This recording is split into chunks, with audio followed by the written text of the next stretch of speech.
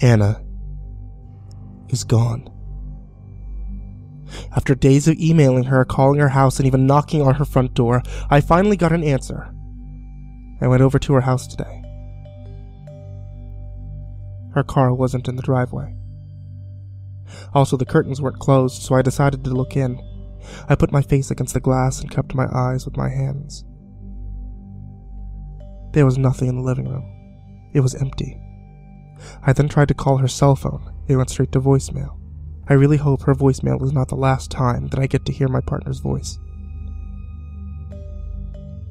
Can you imagine how that feels? I'm being left here with John, and even John is acting weird on me now. He seems withdrawn and quiet, not as chipper as he was when he first got to us.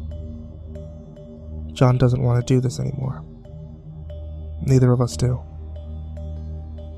Nothing else huge has happened since my dream. I still hear knocking and sometimes quiet chuckling in the distance.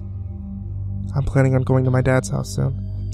I'm still trying to figure out why Stitch was acting as my dad in my dream, and why my mother didn't notice it was a monster.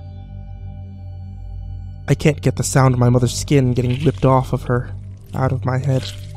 The tearing of veins and tight skin splitting. It's driving me crazy.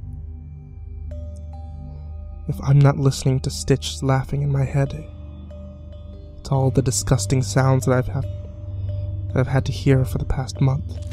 Bones breaking, skin ripping, guts being torn out, thrown around, repetitive routine screams.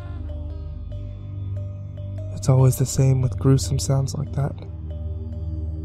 Someone getting their neck slit, someone smacking their head on the pavement after getting hit by a car, somebody gurgling in their own blood after having their face bashed in.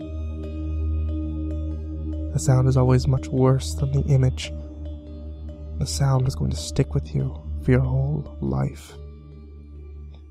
It's going to haunt you.